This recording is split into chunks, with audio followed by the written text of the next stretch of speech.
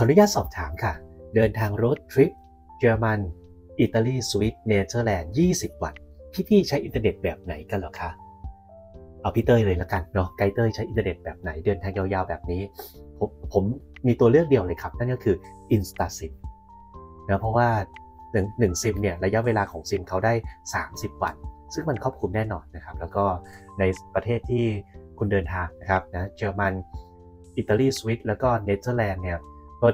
InstaSIM ครอบคลุมนะครับเวลาเปลี่ยนเปลี่ยนประเทศเขาก็เปลี่ยนสัญญาณอัตโนมัติ ในเรื่องของสัญญาณอินเทอร์เน็ตไม่มีปัญหาเลยครับแล้วก็ที่สำคัญดูดีๆนะ คุณไป road trip